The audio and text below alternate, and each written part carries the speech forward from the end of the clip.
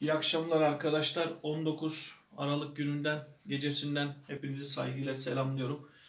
Ee, başlıktan da gördüğünüz üzere arkadaşlar, bugünkü konumuz karanlık madde e, diye başlayacağız ama birçok konuya giriş, gireceğiz. Tekrardan dönüşler yapacağız, bağlantılar kuracağız ve kendi görüşümüzü, kendi teorimizi de ortaya süreceğiz. Şimdi 1930'lu yıllar itibariyle bu karanlık madde nereden çıktı? Yani karanlık maddenin çıkış felsefesi nereden çıktı? Ona değinelim. Öncelikle bu süreci bir hatırlayalım biz.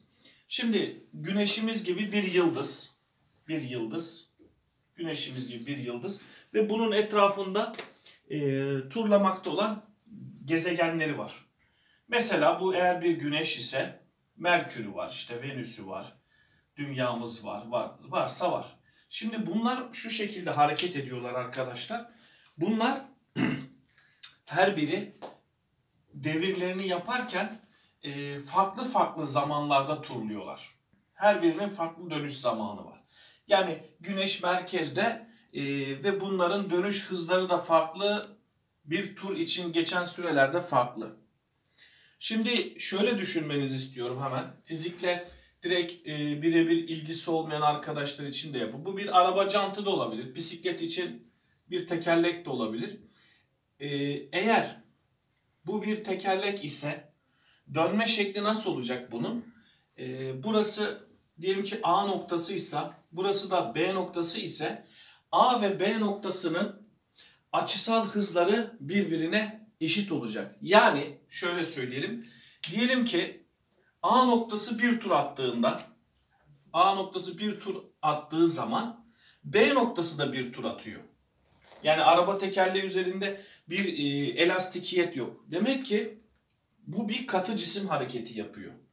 Bir katı cisim bütün e, atomik kütleler birbirine bağlı dönüyor.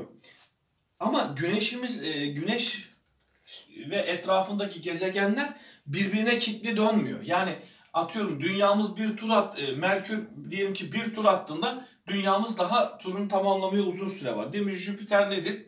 Efendime söyleyeyim 12 yılda diyelim şu gezegen Jüpiter olsun. Bu da dünyamız olsun. Dünyamız şimdi Jüpiter bir tur tamamlayan e, tamamlaması için gerekli olan süre dünya 12 sefer turluyor. Yani Jüpiter'de bir yıl geçtiğinde dünyada 12 yıl geçmiş oluyor. Dolayısıyla beklentimiz bu yöndeydi. Ama ne oldu arkadaşlar?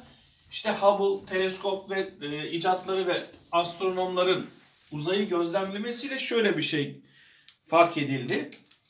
Diyelim ki bu bizim Samanyolu galaksimizi temsil etsin. Burası Samanyolu galaksimiz. Burası galaksinin merkezi.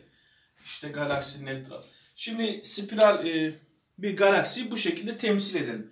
Merkezde çok yoğun yıldız yoğunluğu var. İşte en büyük yoğunluklar burada. Bizimle bağlı olduğumuz güneşimiz de diyelim ki burada. Diğer yıldızlar da pozisyonlarını almışlar. Efendime söyleyeyim. Biz ne bekliyoruz? Muhammed ne bekliyoruz biz? Aynı güneş sistemindeki gezegenlerdeki mantığı bekliyoruz. Nedir? İçerideki yıldızlar daha hızlı dönecek, dışarıdaki yıldızlar daha yavaş dönecek. Ama yapılan ölçümlerde görülüyor ki galaksinin dönüş hızı her noktada her cisim mesela bu güneş olsun. Şuraya da başka bir yıldız çizsek veya şuraya. Burası da diyelim ki bu A nokta A yıldızı burası da bizim bir tur atması için gerekli süre 250 milyon yıl. Güneşimiz de öyle. İçerideki bir e, galaksinin merkezinde bir turun 250 milyonda yılda bir atıyor. Yani güneş sistemindeki meydana gelen olayın aynısını biz galaksilerde bekliyorduk ama galaksiler böyle davranmıyor. E oysa biz şunu biliyoruz ki güneşimiz ve ona en yakın komşu e, yıldız arasındaki mesafe binlerce ışık yılı. E nasıl oluyor da bunlar böyle dönüyor? Bu neye benzer arkadaşlar? Ben temsilen şöyle bir tencere kapağı getirdim. Şöyle bir şey. Evet şu anamızın mevlütlerde yaptığı pilavın tenceresinin kapağı. Şimdi şöyle galaksinin bu şey katı bir cisim gibi dönüyor. Bakın her yeriyle aynı dönüyor. Şimdi tahta düzlemi size göre bu, bu bu şekilde dönüyor. Yani içerideki de bir turunu aynı anda atıyor dışarıda. Yani bu galaksi sanki katı bir madde gibi davranıyor. İşte bu sefer ortaya karanlık madde, görünmez bir madde olmalı. Bu boşluğu hani bazıları işte antimadde teorilerine falan götürüyor. Bizim bu boşluk kısmını dolduran bizim bilmediğimiz, adını tayin etmediğimiz bir madde doldurması gerektiği tezi ortaya sürülüyor. Şimdi arkadaşlar bu konuya tekrardan dönüş yapacağız. Şöyle yapıyoruz arkadaşlar. Ee, bu maddenin de kütlesinin değişimini uzaklıkla uzaklıkla uzaklık ile kütleyi doğru orantılı kabul ediyor. Yani bunu bir içi dolu katı gibi kabul ediyoruz. O zaman şöyle sor. Ya bizim güneşimizle başka bir yıldız, öteki yıldız, yıldızlar arası bizim boşluk dediğimiz yer gerçekten boşluk değil mi? Görüşleri ve buna yönelik teoriler ortaya atılıyor. Şimdi bu konuya tekrar döneceğiz arkadaşlar. Gelelim benzer bir hikayeyi de nerede görüyoruz arkadaşlar? Atomun içinde. Şimdi atomun çekirdeği. Nükleon dediğimiz atomun çekirdeği. Ne var burada? Artı yüklü protonlar, efendime söyleyeyim, yüksüz nötronlar. Yüksüzleri de sıfır olarak belirteyim. Bu şekilde bir nötron grubu olsun. Şimdi arkadaşlar yapılan ölçümlerde yapılan ölçümlerde bir de temsilimizi tamamlayalım. Şuraya da elektronlarımızı koyalım. Birinci yörüngemiz değil mi Muhammed? En iki tane elektronu koyabiliyoruz değil mi? Birisi yukarı spinli, birisi aşağı spinli. Çünkü ikinci yörünge, kabuklarımız var. Üçüncü yörünge. Aynı bu atomun şu hareketi, buradaki elektronların hareketi arkadaşlar neye benziyor? Güneş ile gezegenlerin hareketine benziyor. Şimdi biz şunu da biliyoruz ki şu çekirdeğin şu çapı, çekirdek çapı, R çekirdek çapı ile atom yarı çapı arasındaki fark e, ne diyelim biz bu çekirdekse bu da atomun yarı çapı. Burada atomun yarı çapı çok çok büyüktür çekirdeğin çapından. Bu işte bir veya bir, bir buçuk femtometre mertebesinde ölçümler yapılıyor. Bu ise pikometre. Yani 50 ile 100 pikometre. Onun neredeyse binlerce katı. Zaten ortaokul öğrencileri biliyor. Şimdi mevzuya gelelim arkadaşlar. Şöyle bir şey var. Atom çekirdeği hemen bu şeyi unutmayın. Atomun çekirdeği güneşimiz gibi, yıldız gibi davranıyor. Elektronlar da neye benziyor Muhammed? Gezegen gibi davranıyor. Şimdi içerideki elektron daha hızlı turlarken dışarıdaki tabii ki daha yavaş turluyor. Şimdi biraz olayı detayların içeriye doğru girmeye başlayalım. Sonra kendi görüşlerimizi tek tek konuyu hatırlattıktan sonra sizle paylaşalım. Şimdi bu çekirdeği ben temsilen çok büyük çiziyorum arkadaşlar. O içerideki çekirdeği. Bunlar da işte nötronlar, protonlar, hepsini ben bu şekilde çizdim. Nötronlarla protonlar bu noktacıklar. Şimdi atomun, atomun arkadaşlar çapının ölçülmesinde yapılan ölçümlerde arkadaşlar atom çapı, atom çapı belli noktaya kadar sabit yoğunlukta. Daha sonra belli noktadan sonra bu bunun yarısı kadar oluyor diyelim ki. Bu da iki tane R. Şimdi şu noktaya şu noktadaki atomun yoğunluğu hep sabit. Belli noktaya kadar yoğunluğumuz sabit. Daha sonraki azalmaya başlıyor dışarıya doğru çıktığı zaman. Şimdi buna da matematik olarak arkadaşlar Wood section fonksiyonu olarak internete girerseniz görürsünüz. Grafik arkadaşlar belli noktaya kadar şu grafiğimizin e, yoğunluğu, nükleon yoğunluğunu, madde yoğunluğunun grafiği şu şekilde bir grafik çıkıyor. Diyelim burası belli noktaya kadar sabit ondan sonra şu şekilde kayboluyor.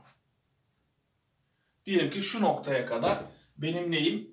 R'me tekabül ediyor. Burası da 2R olarak ifade edelim. Şimdi mevzuya gelelim. Peki nasıl oluyor da böyle bir sabitlik kalıyor?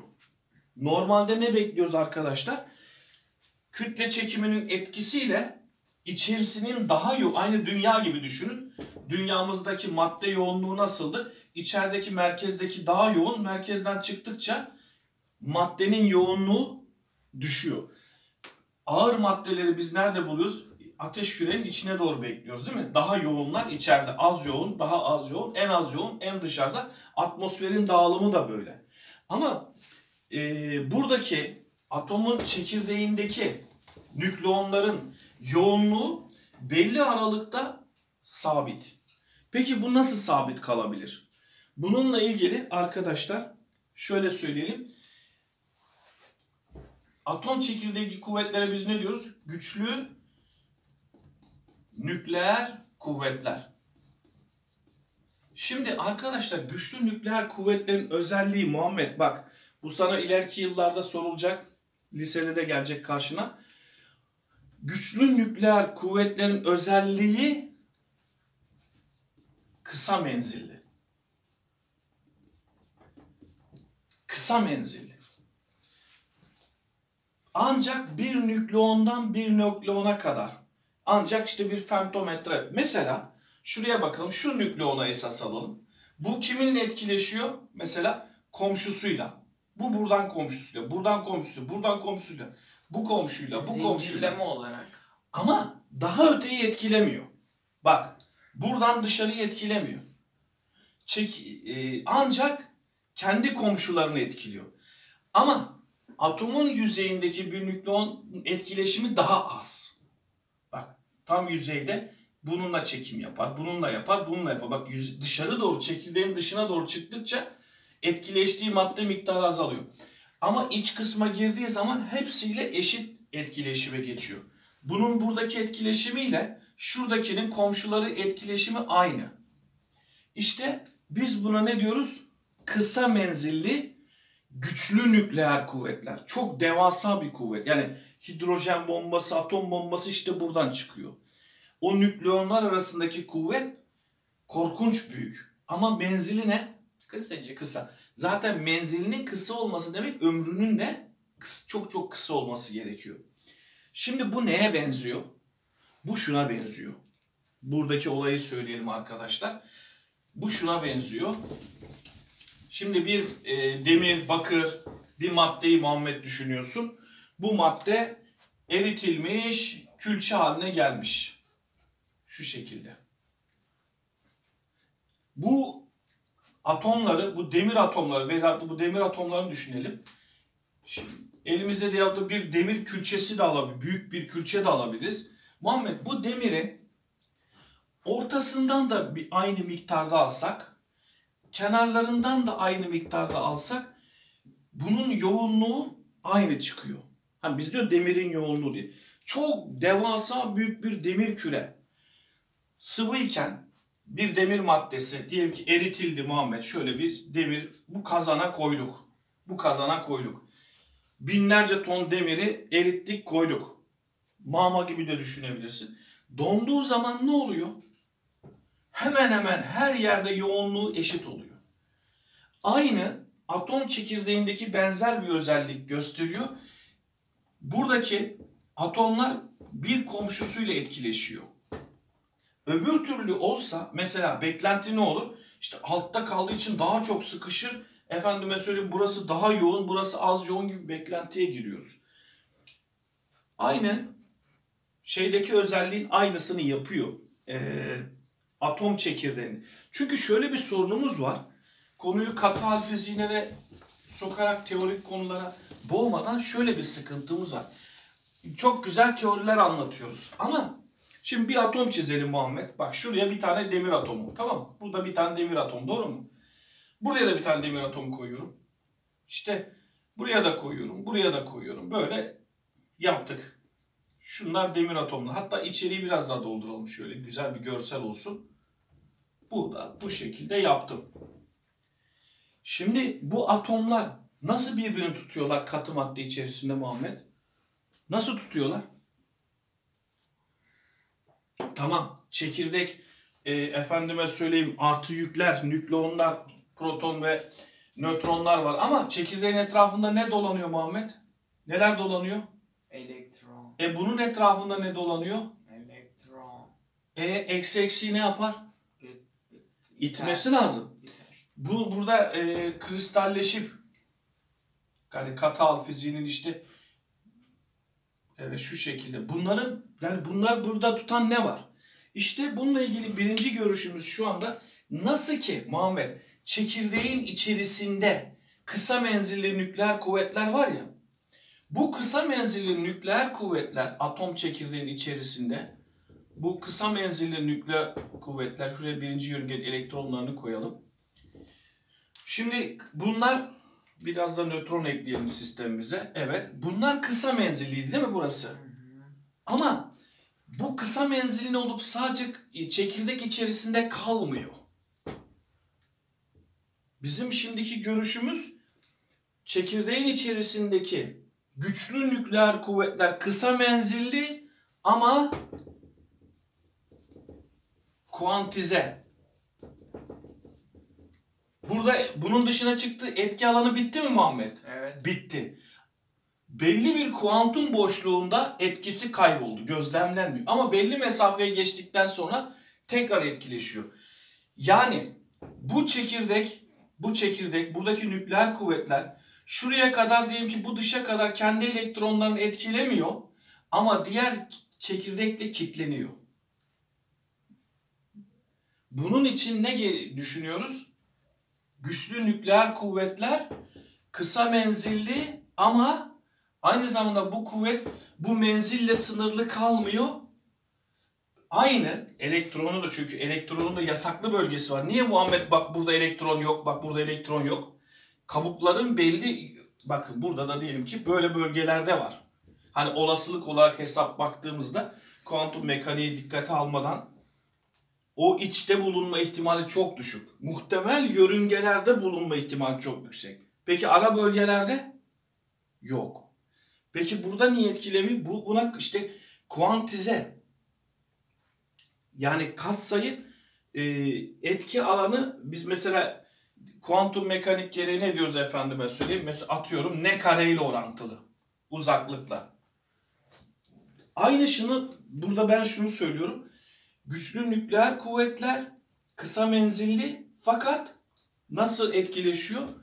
Kuantize olarak şu bölgede etkisi yok fakat uzun bir bant sektirdiği zaman tekrar etkileşiyor. Şimdi aynısını arkadaşlar Mıknatıs örneğini verebilir miyiz? dur bir dakika. Aynısını şöyle düşünüyorum ben. O karanlık madde teorisinde de benzer özelliği söyleyeceğim. Şimdi bir cismin bu galaksimizdi Muhammed. Galaksimiz. Galaksimizin işte yapısı spiral bir galaksi. Şimdi buradaki yıldızlar her bir yıldız bizim güneşimiz dahil yıldız birkaç tane yıldız çizeyim. İçeriden şu şekilde yıldızlar çizelim. İşte arkadaşlar yıldızlar gezegenleri ile etkileşirken aynı güçlü nükleer kuvvetler gibi buradaki kendi içerisindeki işte nötron yıldızı olsun mesela nötron yıldızlar olsun kısa menzili etkiliyor. Kendi gezegenlerinin dönüşlerini aynı bir elektron gibi e, içerideki daha hızlı, dışarıdaki yavaş dönüyor. Ama diğer yıldızla etkileşime geçince yine kuantize bir etkileşim gösteriyor. Her biri bir örgü gibi bizim bu katal fiziğinin örgüleri gibi arkadaşlar her biri birbiriyle bir örgü oluşturuyor. Dolayısıyla her ne kadar arası boşluk da olsa buralar boşluk gibi görünse de bu kuantize etkiler nedeniyle galaksilerin dönüş hareketi bir katı cisim hareketine benziyor. Şimdi son e, meşhur en kabul gören teori kütlenin R ile orantılı olduğu ama ben yine öyle demiyorum. Bizim görüşümüzü de söyleyelim. Dersimizi bağlayalım. Kütle nasıl? Şimdi bir temsili galaksi çiziyorum arkadaşlar. Merkezde çok büyük bir yoğunluk. Bir kara delik oluşturacak kadar bir yıldız yoğunluğu. Tamam Muhammed? Bu bir şöyle olsun mesela bizim temsilen böyle. Merkezin dışına çıktıkça bu yoğunluk azalıyor. Ama bu yoğunluğun azalmış olması bunun katı bir cisim gibi e, dönme hareketini etkilemiyor. Bu nasıl olabilir? Şöyle olabilir. Şöyle olabilir. Bunun bir temsili çizeyim ben size. Bakın dediğim nasıl oturacak kafamızda. Merkezde çok yoğun bir madde koyalım. Muhammed yoğun bir madde söyle bana. Uranyum. Şöyle yapalım. Altın yapalım. Bugünlerde fiyatlar yükseliyor biliyorsun. Neydi altınımızın sembolü? AU değil mi? Merkezimizde oldukça yoğun bir altın var. Merkezin dışına, merkezin dışına şu şekilde bir bir yoğunluk koyuyorum. Bu da ne olsun? Demir olsun. Tamam? Sonra sonra biraz daha bakın azaltıyorum yoğunluğunu. Azaltıyorum yoğun. Böyle bir madde yaptım. O da bar olsun. Alüminyum olsun. Tamam. Seni de kırmayalım. Burada hele kır ısıya dayanıklı ya. Bor senin içinde bir de şöyle bor koyalım. Böyle bir madde. Ya da hidrojen koyalım yani. Dur dur. Borumuzu koyduk. Peki Muhammed bu cisim ben bunları bu maddeleri bir kalıpta erittikten sonra burada dondurdum. Tam oda şartlarındayız. Oda ortamındayız. Normal koşullar altındayız. Bunların hepsi katı değil mi? Hı hı. Bu madde elimde olsa nasıl olur? Katı cisim hareketi yapar doğru mu? Bir eksen etrafında bunu tutar döndürürsün. Ama bunun katı cisim hareketi yapıyor olması yani bir galaksinin katı cisim gibi hareketi yap olması her yerde yoğunluğun aynı olduğunu göstermez. Mesela şuradan alacağım bir tik, buradan alacağım bir tik ve daha dışarıdan alacağım bir tik arkadaşlar nedir? yoğunluğunu, yoğunluk dediğimiz madde miktarı farklıdır. evet arkadaşlar, bugünkü Şu örneği de gösterebilir misin? nedir o? Yani e, mıknatıs kağıtla etkileşmiyor ama karşıdaki mıknatıs da etkileşiyor. O şey bizim me- meşhur Faraday yasası ortamdan e, karşıya geçiyor. Ya ona benzer diyebilir miyiz? Onu biz Michael Faraday'a bıraktık. O daha güzel anlatıyor onu. Ben de diyorum işte bu güçlü nükleer kuvvetlerin her ne kadar kısa menzilli de olsa aynı zamanda kuantize olduğunu söylüyorum.